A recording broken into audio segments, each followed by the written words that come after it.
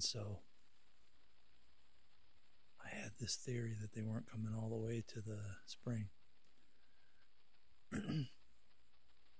or past the spring into my food plot, but just over to the spring. So I started setting up my cameras on the other side. And I got a picture of Dollar Menu. He walked by my hang on stand 10 yards broadside. Even I can make that shot. So I'm pretty excited about that.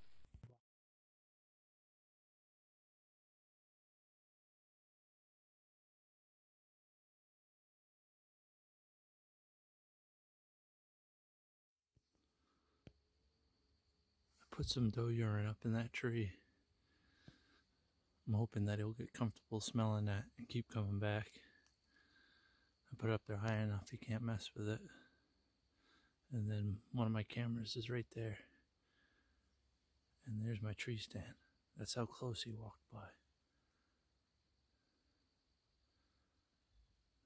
Another nice thing is that's a ridge down behind me. So if he tries to go around me, I might be high enough in the air that he can't scent me. And then if you look close enough, you can see my other tree stand right there probably like 50 to probably a good 75 yards away on the other side of the spring and there's turnips planted just through that opening right there that you can see. They're only like maybe 20 yards at the most. You just can't quite see them and my cameras have all been another 10 yards beyond that.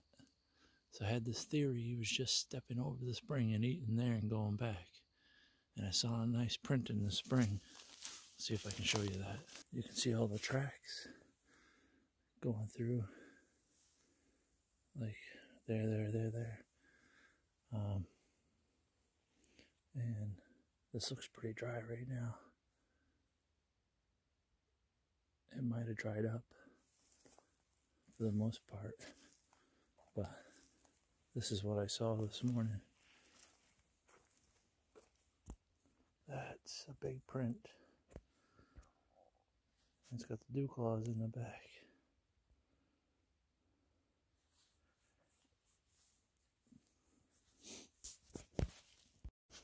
We've had a terrible drought,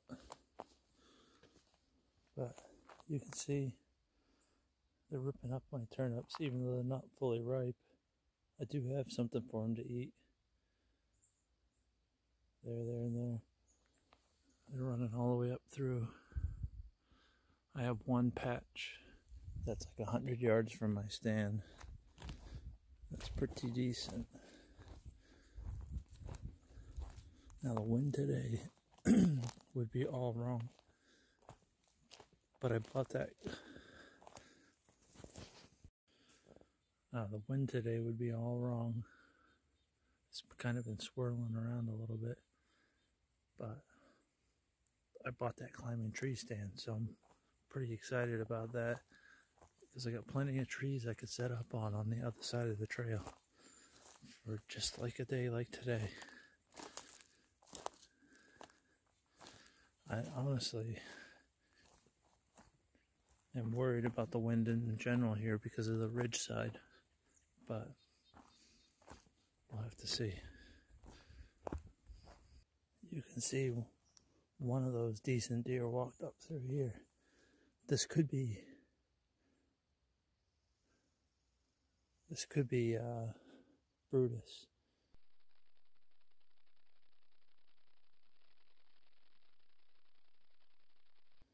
Because that doesn't look like it's as big of a track. But that toe's spread apart pretty well. And you can see right here, I got a nice turnip patch. My tree stand is up in behind this island up in here. So I have does and fawns showing up every day.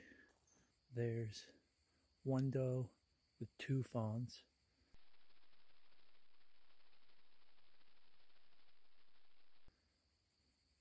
And I get her just about every day on camera.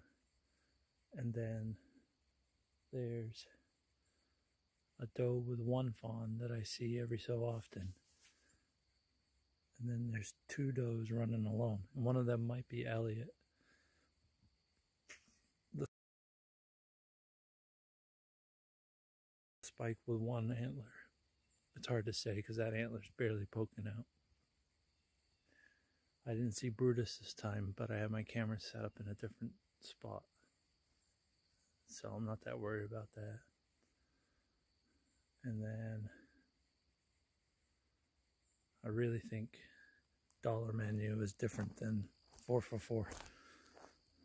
Man, I sure hope so. My dad's excited too. He's finally talking about hunting up here with me. So we'll see. So if you like this video, be sure to subscribe and click the bell for notifications.